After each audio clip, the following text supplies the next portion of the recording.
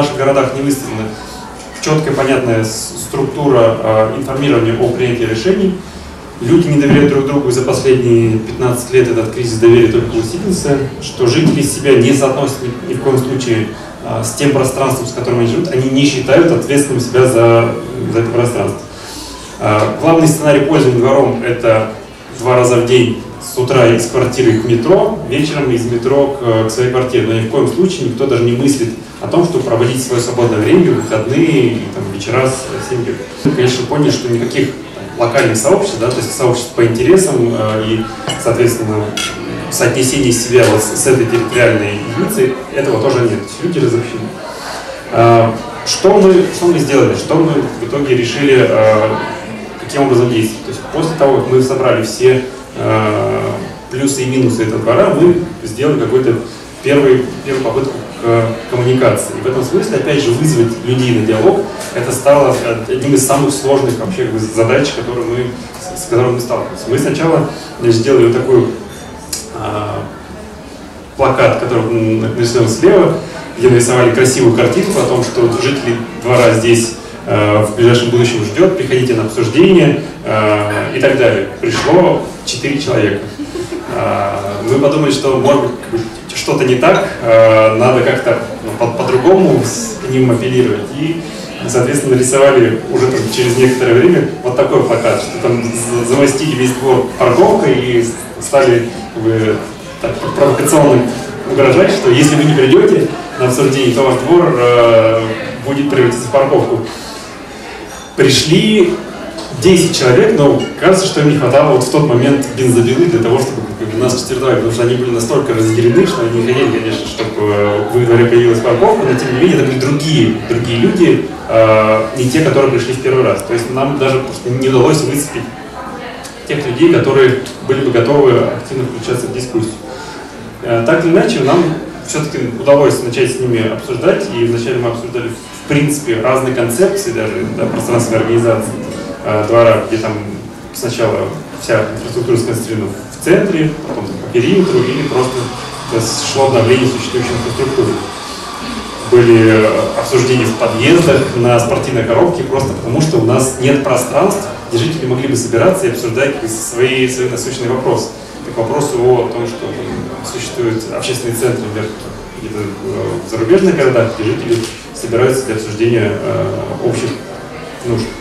И в итоге обсуждению нам, там, это была первый, э, первая попытка, первый подход к, к тому, каким образом может выглядеть их двор. Э, несколько примеров. Мы сделали это и, опять же, вынесли это на общественное обсуждение в интернете, у себя на сайте, развешивали плакаты прямо в подъездах, оставляли специальное пустое место для того, чтобы люди могли оставлять комментарии. И э, люди очень оценили это, они действительно стали включаться в обсуждение, получили там, больше 50 комментариев по праву к своему проекту, и, конечно, ни одна из предложенных трех концепций не была выбрана, и появилась какая-то э, следующая. Да? И вот э, уже после еще нескольких итераций, нескольких обсуждений уже родилась немножко другая, э, другой проект. Дальше, что касается теперь вопроса реализации. Это всегда самый интересный, интересный вопрос. Э, мы просмотрели все законодательство в Москве и поняли, что не существует инструментов и механизмов, каким образом мы могли бы включить свой проект в текущие планы по благоустройству э, муниципалитета. Ни в бюджетные, ни в процедурные вопросы. Э, нам пришлось дойти буквально там, до, до мэра Москвы, до Сергея Семеновича Собянина, с тем, чтобы вообще как бы начать инициировать. И это показывает вообще как бы неразвитость институтов. Да? То есть если нам приходится разговаривать с мэром о том, чтобы мы э, реализовывали дворы по-другому, это значит, ну, как бы, э, диагноз того, что, в общем-то, все не, не слава богу. Нам предложили самое универсальное, самое излюбленное э, решение – это народный конкурс. А, и, соответственно, поскольку выделили на конкурс 3 миллиона рублей, а наш проект стоил ну, примерно 30 миллионов рублей, правда не потому, что мы каждый себе захотели купить по квартире, а правда он, он, он столько стоит. И, соответственно, мы выбрали небольшую часть двора, которую мы решили подать на конкурс. А, просто для того, чтобы вам понять, с кем мы конкурируем. Да? То есть, когда вы объявляете народный конкурс, значит, кто угодно может туда а, предложить проект. Мы, например, вот с таким э, двором, очень патриотичный в, в стиле Бородинского сражения. Э, вот там такое, видимо, в преддверии э, Олимпиады в Сочи. Вот такие проекты были. Это, это все, что человек подал на конкурс, да, просто какой-то чертеж. Были, например, даже такие проекты по установке танков э, рядом с, с домом. То есть я хочу сказать о том, что если у вас не существует как бы, механизмов отбора предварительного постановки технического задания, квалификации будущих команд, вы получаете в итоге вот это, а жители, в общем-то, голосуют на самом деле, ну, им на самом деле без разницы, за что голосовать. А, плюс, когда опять же говорите о механизмах, там вроде бы все работы вешались на сайте, вроде бы нужно было подтверждение через смс а, для того, чтобы голосовать. Но а, опять же, там, за наш проект голосовали все мои друзья от Красноярска до Амстердама, просто потому что, опять же, не было придуман механизм, каким образом интересы конкретных местных жителей были бы учтены именно в ходе голосования. Тем не менее, когда конкурс закончился, и мы вроде в нем выиграли, а, муниципалитет замолчал где-то примерно на полтора месяца, не было слышно вообще ничего, а потом мы пришли в этот двор и обнаружили, что там началась стройка.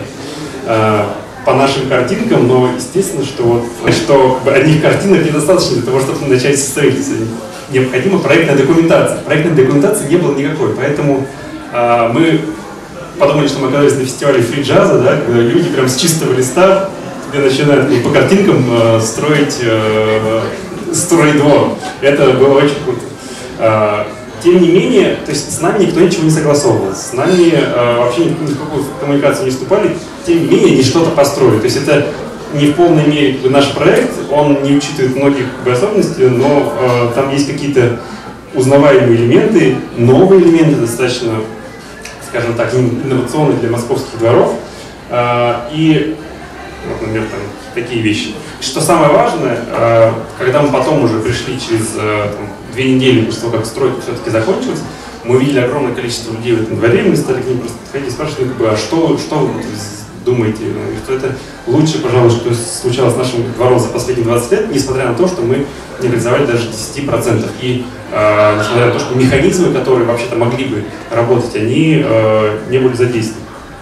Вот. И в, в конце концов у нас получилось, э, как, как результат нашего, нашего вот такая схема, которая для Москвы применима, да, как, как нам кажется, могло быть э, организовано э, проектированием нового типа э, дворовых пространств, что начинаем мы с запроса от муниципального собрания, продолжаем исследование, потом комплексное планирование развития района, потом разработка концепции этого двора, согласование с органами исполнительной власти, потом разработка рабочего проекта, потом подготовка тендерной документации, проведение тендера, строительство и потом оценка жителями качества благоустройства. Вот э, таким образом мы к этому пришли, и сейчас э, там идет работа по попытке донесения необходимости внедрения именно такого механизма с, э, в Департамент благоустройства города Москвы.